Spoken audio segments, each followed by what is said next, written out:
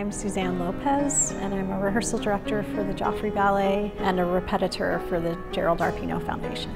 Suite Saint-Saëns is an ensemble piece with 20 dancers, but it's really 20 featured dancers. They do dance as an ensemble, but everyone has their special moment. I think it's really beautiful to see the full company dancing together, but it really highlights individuals. We see all different types of dancing, sort of more bravura, tricks, and then some really beautiful partnering. I think it's seeing all of that together in one ballet that makes it so special. This is probably one of my favorite favorite of Gerald Arpino's ballets. It uses a big cast, which I really enjoy, but it highlights so many aspects of his choreography. Learning this ballet when I was in the company is completely different than staging it now. So when I was in the company, this ballet was kind of always in the rep. It never really left. This time around, because it's been almost 20 years since we've done this ballet, I had to teach every single person their spot,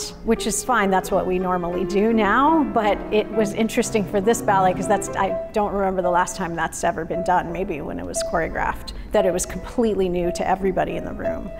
And I think performing it, I hope that they have the same feeling that I had performing it, that you feel you're a part of something really special. And you go out and you do your parts, but then the second you're off stage, you turn around and you watch your friends do the same. And that feeling of camaraderie and cheering each other on. And I already feel that in rehearsals, so I think they're absolutely getting that. And I think it will only develop as they get on stage. It's a big deal to me personally to come back to this ballet.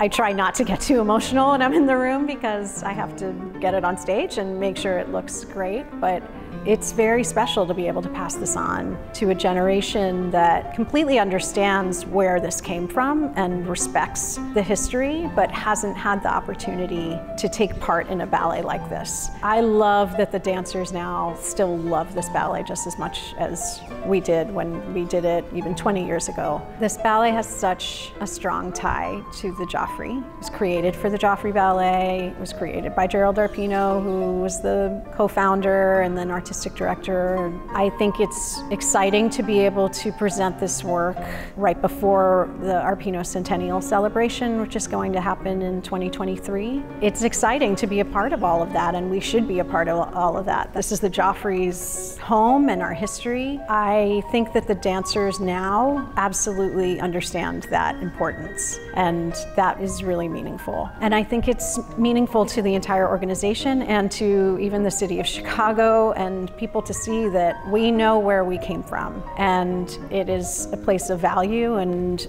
this kind of signifies that beautiful work that was done then and now let's see what our dancers now can do with it and I think it will be just as beautiful.